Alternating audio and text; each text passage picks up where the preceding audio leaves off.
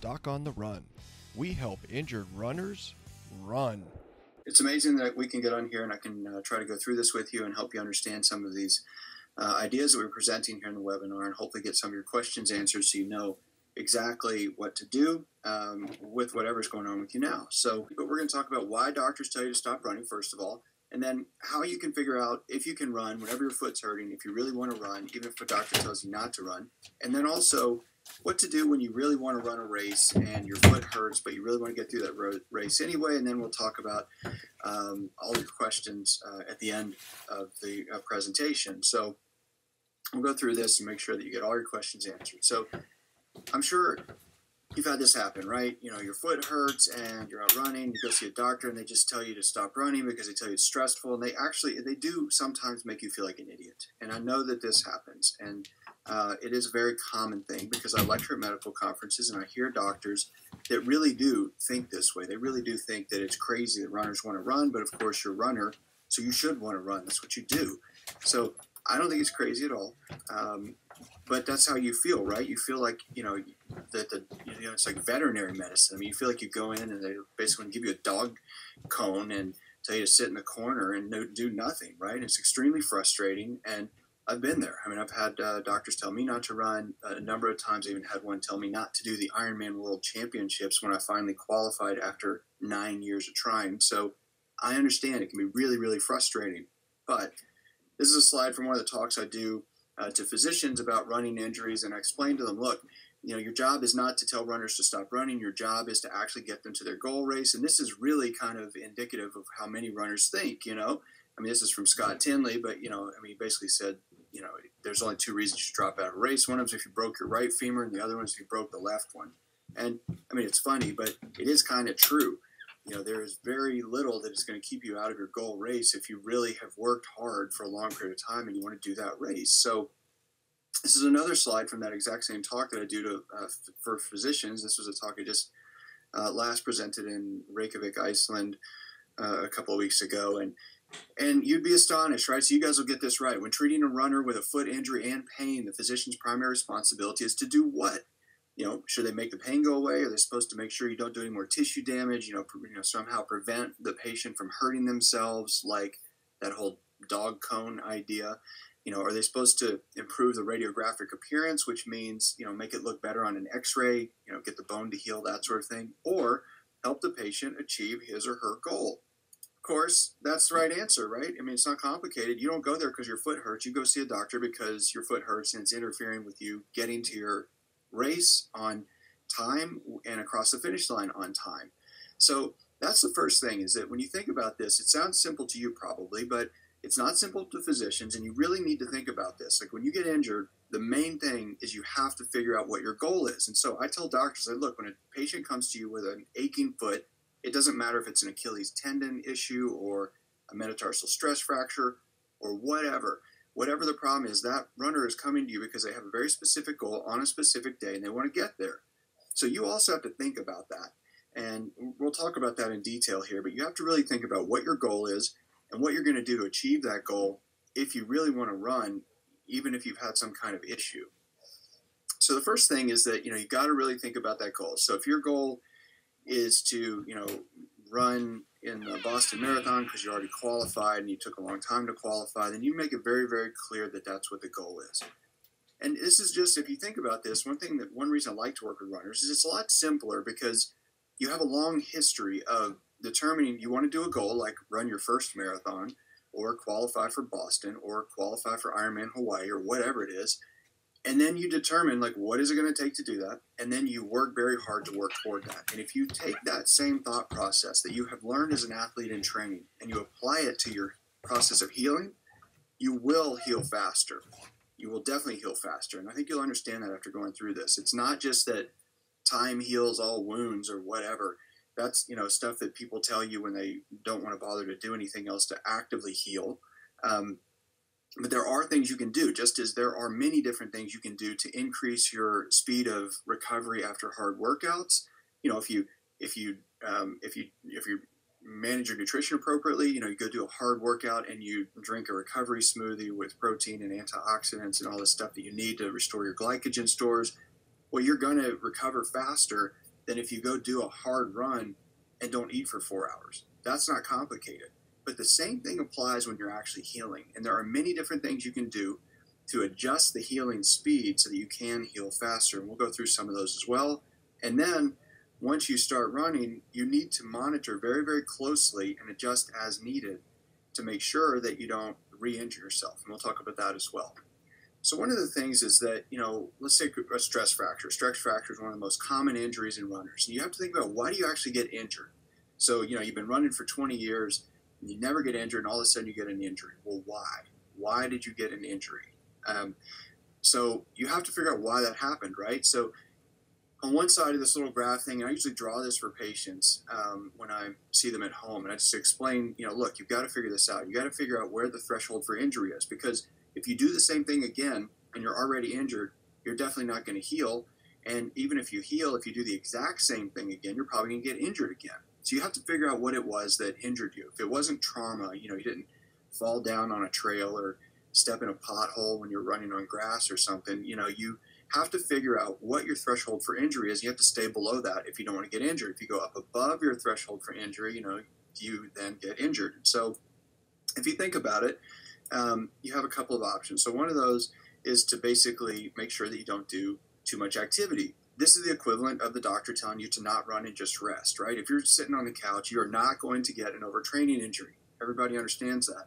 At the other end of the spectrum is you know, somebody who's running ultra marathons every weekend, you know, super high mileage, high stress, you know, um, under recovered athlete who is obviously over the threshold for injury and just waiting for trouble.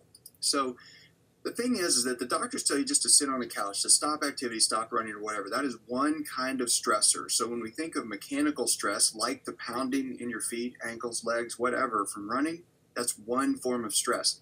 It is only one form of stress. It's not what caused a stress fracture. It's one of the stresses. And again, it's called a stress fracture. So you have to really think about that. So with the stress fracture, if you have mechanical stress, that can contribute to it. If you have oxidative stressors like, you know, even cooking with certain oils that uh, form free radicals in your food and you're eating that, that can contribute to stress. There are a number of things that contribute to stress. If you're running in an area where there's lots of pollution and there's uh, really poor air quality, that can certainly contribute uh, one of the places I really like to run with my sister. She lives in Houston. We go run at Memorial Park. Interestingly, Memorial Park is surrounded by like the I-10 freeway on one side, which is a huge freeway that you know goes across the United States all the way to Los Angeles, and that thing that section is, I think it's like 12 lanes or something.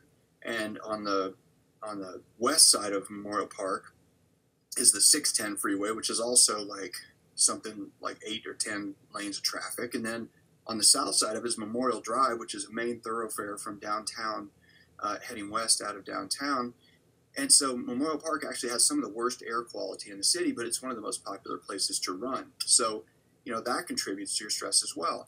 You can have uh, hormonal threat stressors like thyroid dysfunction or pituitary gland dysfunction um, that you may or may not know that you have. It can contribute to stress fractures. You could have uh, emotional stress, you know, like a boss who's a jerk, that sort of thing. Uh, and if you get any kind of uh, excess stress, then you're more prone to getting an injury and you wind up with a metatarsal stress fracture or something like that. So, you know, it is important to consider all these things. So, obviously, you're not going to, you know, do testing yourself to see if you have thyroid dysfunction, but it is important when you're recovering to really, really think about the global amount of stress in your life because those are things that you can control to influence in some way the healing process. So, you have to really think about this, right? Like overtraining is not training too much. It's just not recovering enough before your next workout, and you wind up with an injury because you didn't completely heal the tissue damage that you caused in one workout before you did your next workout. So that's important for a lot of reasons. I mean, one is that it's extremely important because if you um, if you are recovering and you're just resting and you're not doing all these things to accelerate your recovery, then you're going to take a lot longer to heal. But you also need to think about this in terms of preventing that re injury that happens once you're actually back to running and training for your next event so that you don't get another overtraining injury. Because it's, I won't go into it in detail here, but basically, if you look at a search on, in the medical literature on the search terms uh, injury, injury and running, there are the last time I looked about a month ago, there were 5,063 different articles. And if you go through all those articles and distill them down to those that are actually,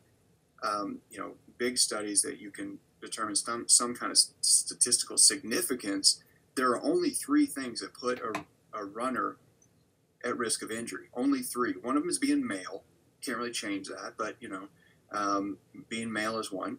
You're more risk is more risk if you're male. The second is high mileage. So if you're a high mileage runner, that is a, a risk factor for sure. The only other known risk factor for running injuries is a history of, of pre-injury. So if you've been injured before, you're more likely to get injured, partly because of uh, the fact that you have some tissue that's healing, but also partly because of the treatments we do to you as physicians that make you more prone to re-injury. So you have to recover as quickly as possible while you're healing an injury, but also once you're healed and back to full training. So the important thing here, though, is when we talk about this graph, is is this whole threshold for injury idea. So we're always talking about injury, and we're talking about you getting hurt, and you have to heal and all that sort of stuff. But you really have to remember that you can flip that thing around and instead call it your threshold for healing. This is crucial for runners because what doctors want to do is they want you to sit on the couch and do nothing, right?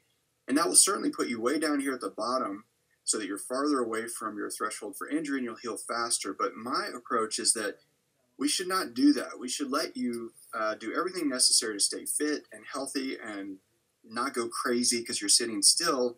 But you have to basically get below your threshold for healing.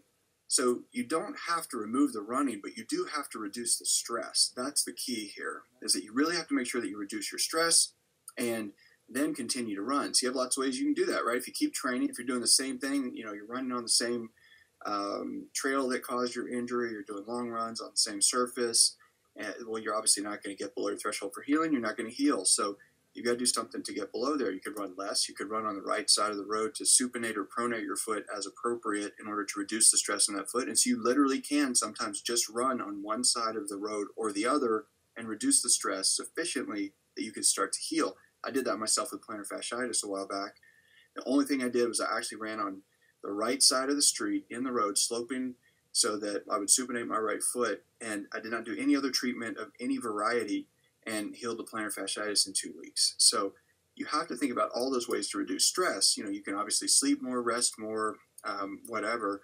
You could do something more drastic, like using a fracture walking boot, or you know, bed rest or a cast. Which, truthfully, I don't know which is worse, bed rest or a cast. They're both absolute torture for anybody as a runner. But you've got to do something to reduce all that stress. And the more stuff you do, the faster you're going to heal because you're further away from that line. So that line moves based on all those things. So again, you can run less, you can hydrate, you can use pads to take pressure off something that's uh, irritated. Meditation, visualization, ac- acupuncture, there's all kinds of things you can add. You just have to decide what you want to add to get you below that threshold for injury. And then as soon as you're below that threshold for injury, then you can basically um, keep training and not have to worry about uh, making the injury actually worse. So the first thing though is like once you decide, okay, you know, you kind of figure out like um, what you can do to speed up your healing, and you have a race coming up. Again, it comes back to the goal. You have to decide how important is the race. You know, you have to think, okay, what is your timeline? Is your race? Um, as I had a call last week, uh, a virtual doctor visit from a guy who was doing uh, Western States 100, and he called me on Thursday and we did his remote consultation to figure out a strategy to get him through the race. But obviously, Western, you know, Western States is uh, is a, is a big event, right? It's 100 miles, maybe the most difficult 100 mile race around.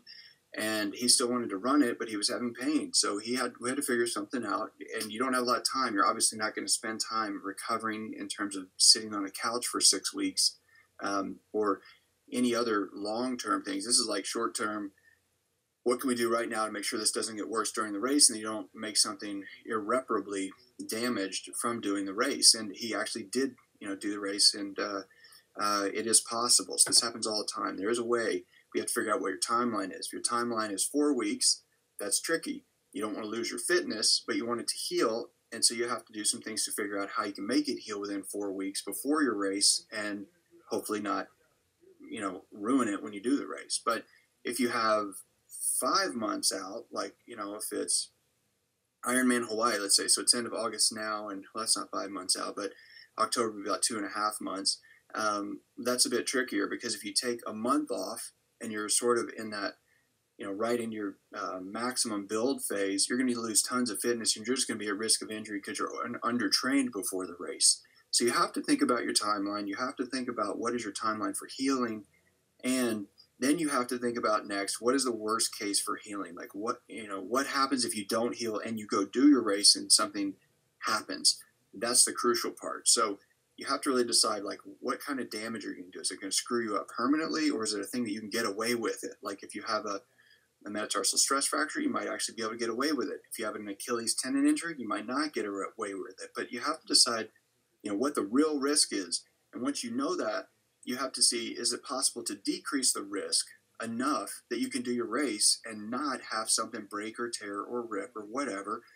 And if you go through that whole process and you show up on the starting line and you feel like everything's okay, obviously during the race you want to finish the race, but you have to make sure that you you know when it's time to stop. You know when it's like so bad that you might really do irreparable harm to yourself by continuing to finish the event. So you have to have a backup plan in terms of you know if you do make it to the starting line, how can you tell when it's time to throw in the towel uh, if that becomes necessary?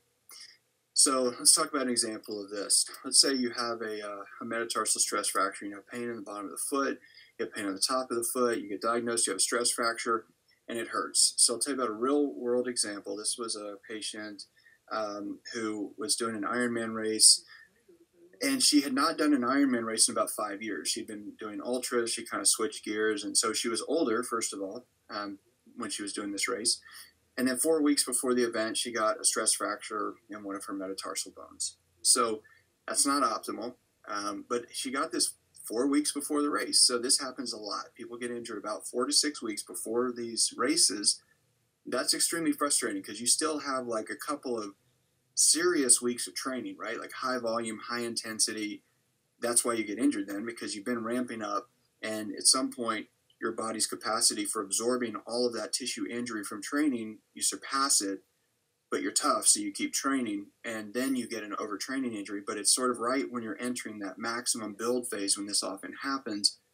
Then you don't know what to do because you go see a doctor like she did, uh, and they say, "Well, you have, you know, you have a broken foot. You have a stress fracture in your foot. You, I mean, it's broken. You can't run on that. You're, you're crazy. You just can't do the race because you need to wear this fracture walking boot for the next six weeks because it takes six weeks for bone to heal. So that means you're going to be wearing a boot on race day, and then two weeks after the race, we're going to take your boot off and let you start walking on it without a boot.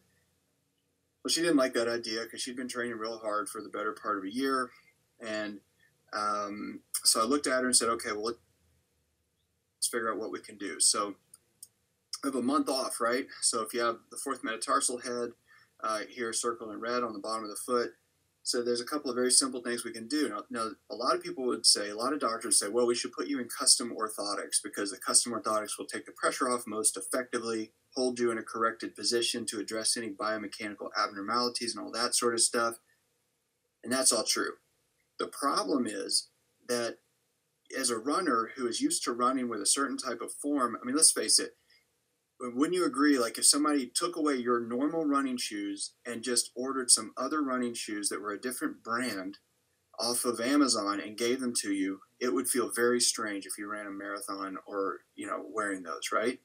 This would this would be uh, disruptive let's just say the least. And if you take custom orthotics and you give them to a runner who's about to run an event like that like a marathon or an ironman there's no way they're going to get used to them in time. And that so that's not a good idea. So in her case, what we did is simply I literally like drew a circle on the foot where the metatarsal head was because that's where we take away the pressure. In her running shoe, I cut a hole in the insert. You can see when I put the insert up on her foot, it's removing the pressure under that. And she used this basically for the event. But of course, I told her, I said, look, you know, your foot is um, injured. You've got a stress fracture. Do not run on this for the next month. In her cycling shoes, I actually did a similar thing, but I put a pad that takes a lot more pressure off of it. Now, the pad is way more effective than cutting a hole in the insert because the insert's soft anyway, and you're only removing a couple of millimeters of material, whereas you're adding very stiff, rigid material that's about four millimeters thick that will really take the pressure off that metatarsal when you add a pad. But I said, why don't you use this pad in your cycling shoes? Go for a ride, and see how it feels. So she went for a ride. It was all fine, no pain at all. Um, and I'll make a long story short here, but basically, she over the course of a month, you know, we talked a number of times to make sure she was staying on track, but she was very, very worried about running on a cold foot, as she would say. And I just explained, look, I think you can do your race, but you got to take the stress off of it. So go ride a lot in between now and race day. Use the pads to reduce the stress in this way. And when it comes race day, you know, go hard on the swim, go hard on the bike. And when you get off the bike, if it doesn't hurt, run. And if it starts to hurt, walk. And if it hurts more than that, crawl. And if you're too far from the finish to crawl, then quit. But, you know, you have to figure out what the worst case scenario is. If if you break it, and so we talked about that at length, and actually the deal with the metatarsal is that when you have the metatarsal, if you the worst case scenario is that you break it, it moves out of position, and then when it moves out of position, we have to put a, a little plate and screws on it. But you wouldn't be worse permanently. Now, nobody wants to have surgery. And I'm not going to tell you that it makes sense for you to have surgery, but in her case, she went and did that race, and it was her fastest Ironman her entire life. So that's the thing. She was five years older. It was her fastest Ironman, which to me says two things. Number one, the doctor that told her she could not possibly do the race and had to wear a boot for six weeks was wrong. And the other thing it tells me that she's probably chronically overtrained because you know she didn't run on it at all for a month before the event, and it was still her fastest Ironman ever. So that's the thing is it you know it can happen where you can do one of these um, events and do really well um, just based on that. So you know you have to decide what what is important with your goal. You have to figure out what you really want and what you really what you really need um, to get through a race. And you know, uh, I think we're going to go through a question and answer period. Hopefully, I'll answer all your questions. If you don't, just because you guys are on the webinar, this is something I don't ever offer, um, but we uh, are actually. Um, you know, going to do a discount thing at the end for any other courses or consultations or whatever if you guys need them. But I think we'll probably get most of your questions answered just through question and answer things. So these are questions that you should be asking yourself, however.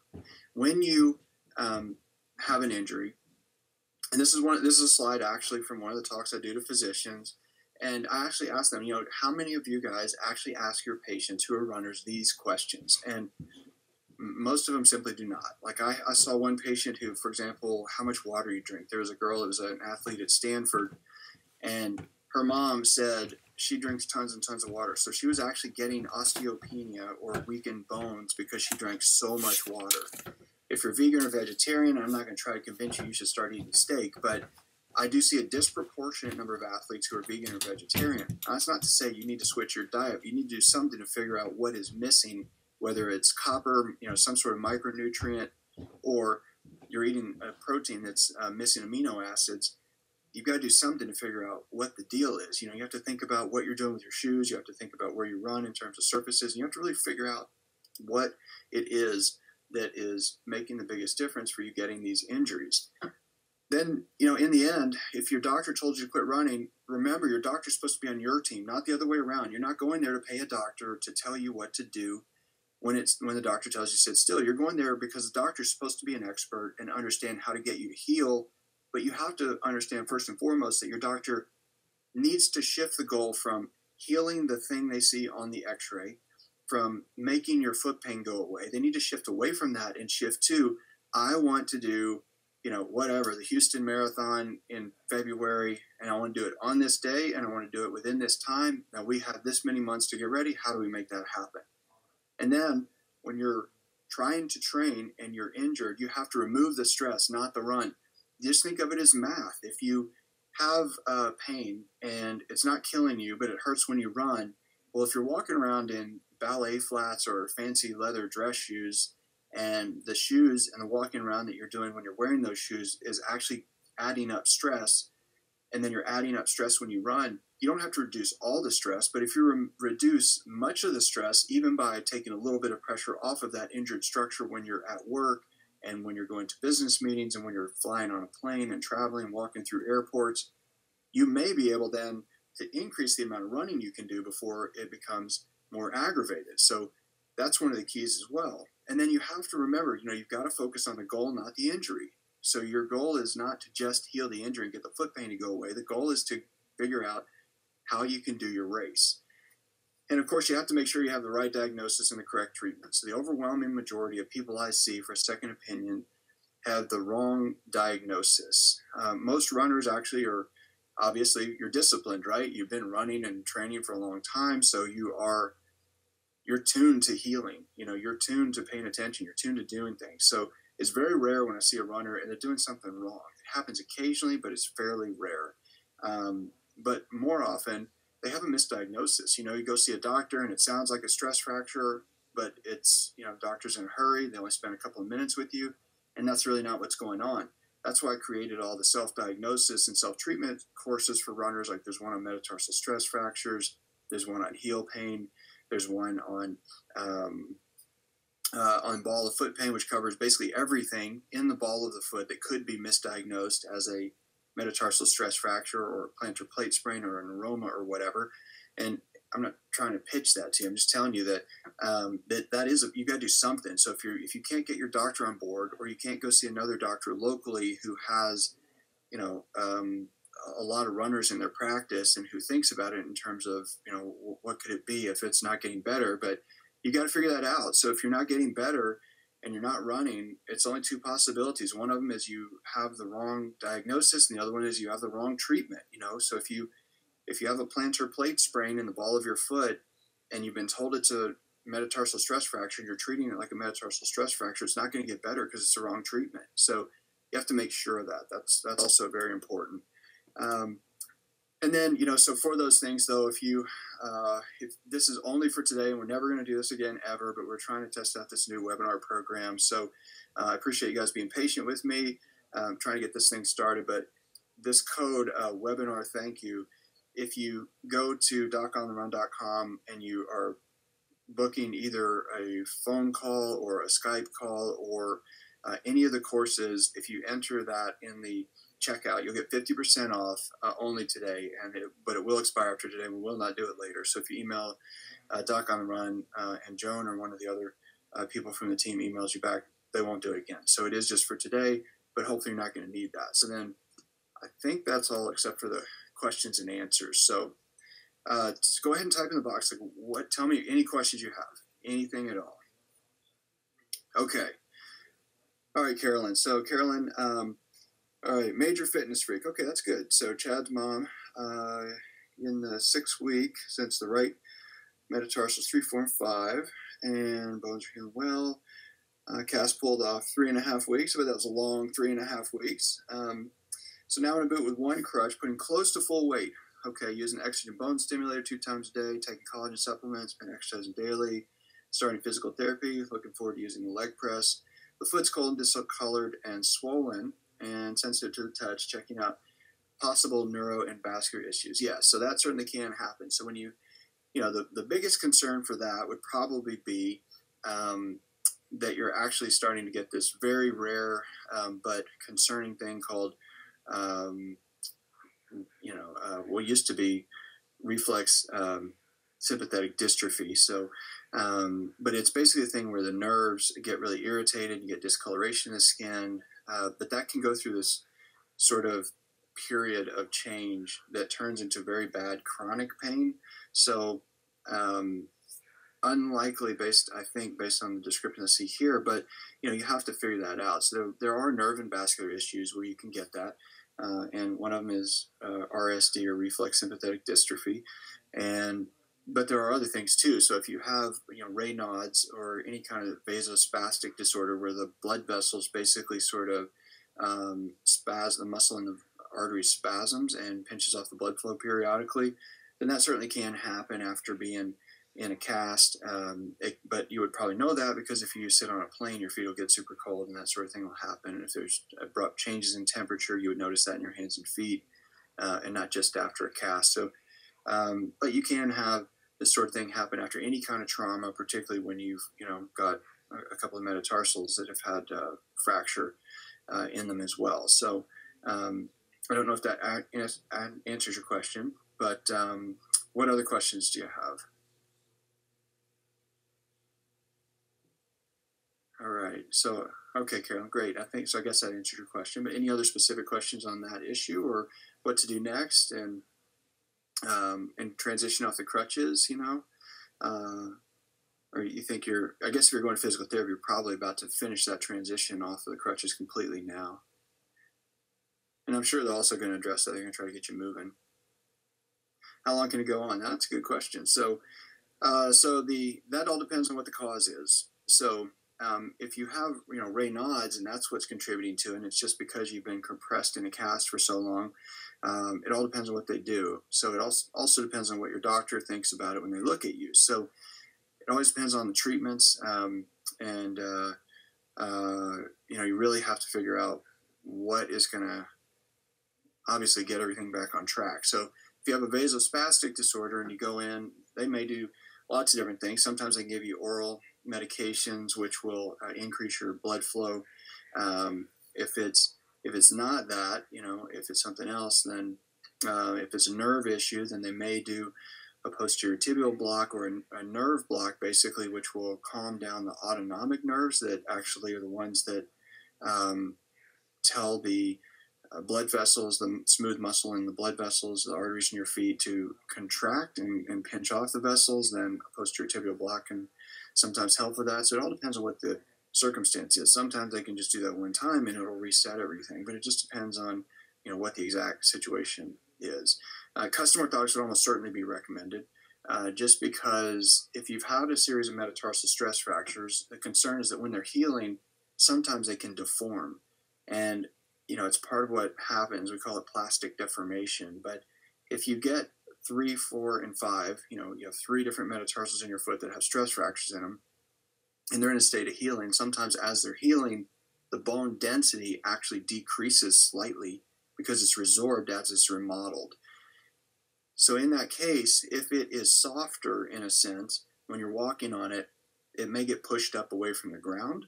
But if you have, you know, protected it until it's stable enough, then you don't have to worry about that. So part of that transitioning sooner is that you really only have a couple of different um, possibilities. Like one of those is if you uh, use a fracture walking boot for longer, that will help alleviate that risk. It'll help decrease that risk, but you don't really don't want to wear a fracture walking boot for months. So, if a doctor transitions you into um, uh, custom orthotics, you know, after that, then that may help uh, a lot.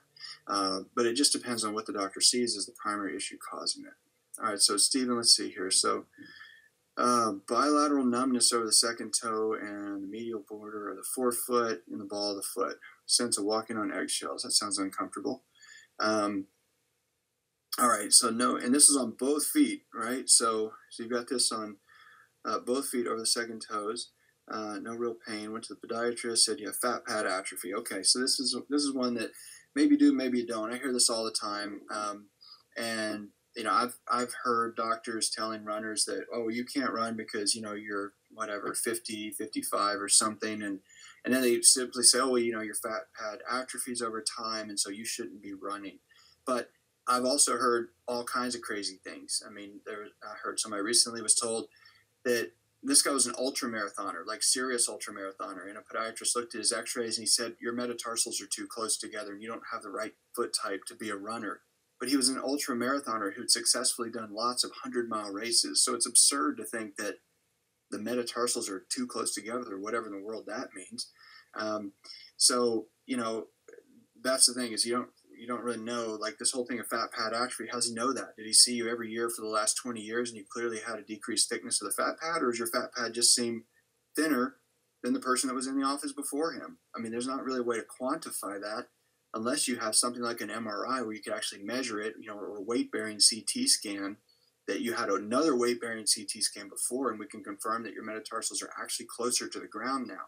It's not really something that most doctors are going to be able to truly make an assessment on. They just kind of say that. And um, but if you have fat pad atrophy, there are lots of things you can do. So it sounds like your doctor recommended over the counter orthotics and inserts proximal to the ball of the foot, which the idea is sort of like that pad I showed earlier is that you take the pressure away from the ball of the foot and you move it to the necks and shafts of the metatarsal bones. So um, with that one, it's, uh, let's see if I can go back to that slide.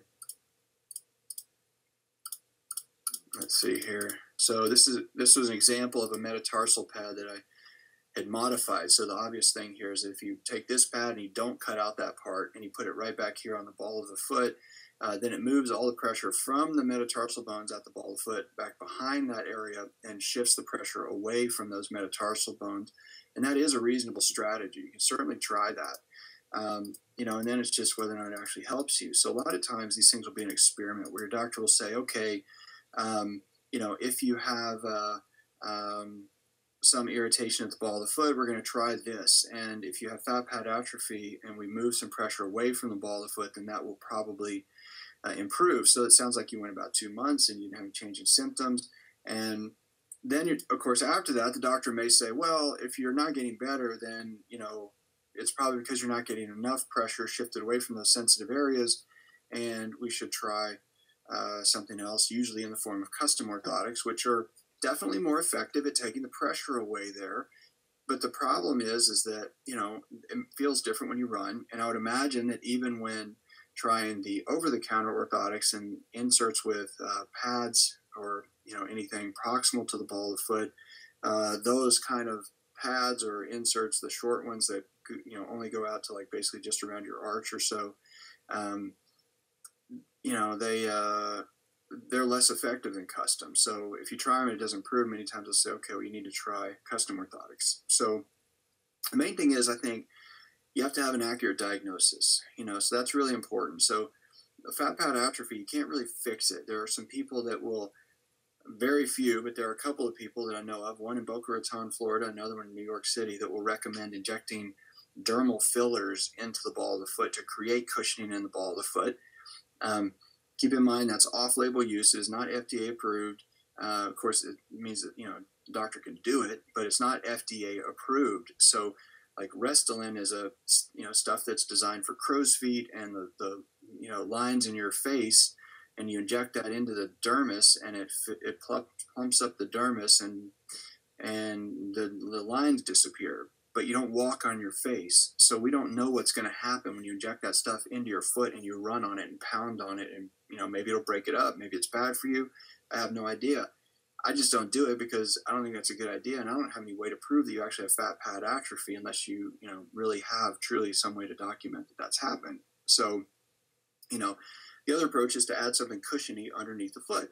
One thing you could try is um, something super soft. Like if you tried inserts that are just very cushioned, then that might actually make a difference. And that's low risk, right? So you try a different type of insert with a different strategy. Instead of trying to kind of shift the pressure so much from one area to another, you just try something softer, like uh, Spenco inserts that are like literally just the, the it's neoprene, you know, like wetsuit material. So you order some Spenco inserts, the standard like Spenco green, like flat, layer of neoprene, put them in your shoes, run on those, see if it makes any difference at all. If it makes no difference at all, I don't know. The next thing would be plastizote. So there's a material called plastizote, and you can order plastizote inserts, which is, um, I think it's P L A S T I Z O T E for plastizote. But basically, plastizote will not last long if you run on it. It crushes down and deforms very quickly, but it's very soft and absorbs uh, force and pressure very effectively. So if you try plastizote inserts, it's going to feel a little weird when you run on them, but it's a whole lot softer. And if that helps, plastizote is kind of like the gold standard for um, removing pressure underneath the ball of the foot when somebody has a lot of pain. More often, that's in somebody that has rheumatoid arthritis, you know, that really has had a, a lot of not just fat pad atrophy. The fat pad actually moves out of the way when you have rheumatoid arthritis, instead the bones are just pushing on the skin. Um, but you know, you could try some of those, and and I would say probably try those before custom orthotics because um, you don't want to wind up with um, uh, you know custom orthotics as a fit, particularly if they're not if they're not working for you. You don't want to use them all the time. I guess that's what I'm trying to say. But uh, so you have to find out what the real issue is, and if you try some other things and you don't get it better at all, but you need to reevaluate. So you know, one option is to get an extremity ultrasound. So if your doctor doesn't do it, you can find another one who does. For example, in this area, uh, I send everybody to a guy named Dr. Tagados. Dr. Tagados is awesome. He is a musculoskeletal radiologist who has this obsession with extremity ultrasound. And he will do these procedures and he will literally call me while he is working on your foot and say, you know, look, Chris, I'm talking to so and so, and this is what I see. Uh, should we do this? You know, should I try to drain this? Do you want me to, you know, inject some steroid in there, given what we see here? Because I think this is what's really going on.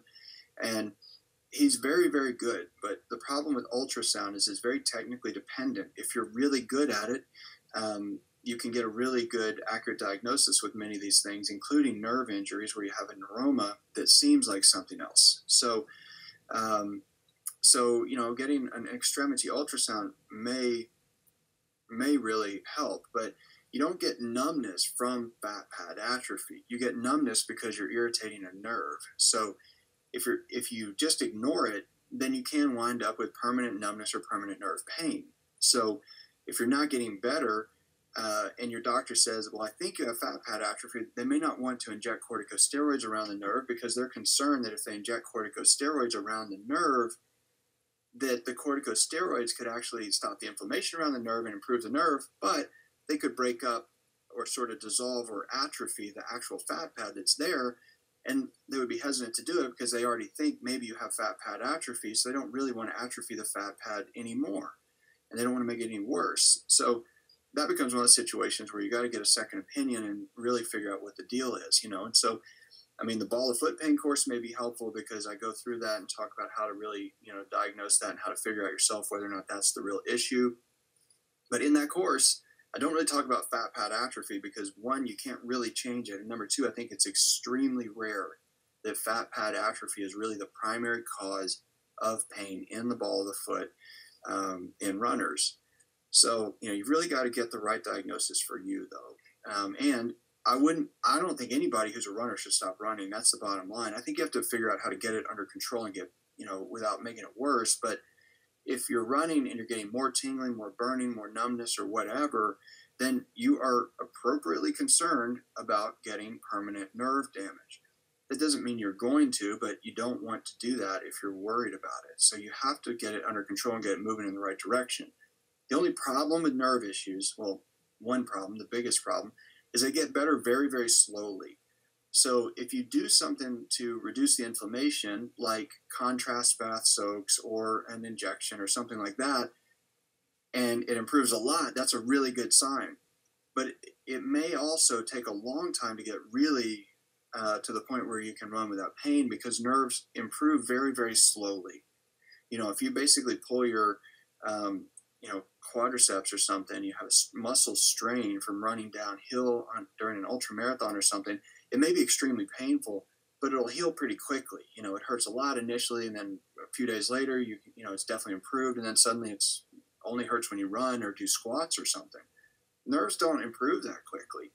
They take a long time to heal. So um, muscles heal really quickly, tendons and ligaments heal a bit slower, and nerves heal really slowly. So with nerves, the crucial part when you're trying to run, you're trying to train, you're trying to figure out whether or not your nerve injury is going to be permanently worse if you keep training, is to monitor it really closely. So there's a um, a pain journal uh, episode I did on the podcast. So if you go to docontherun.com and just click on the podcast link, it takes you to every podcast episode.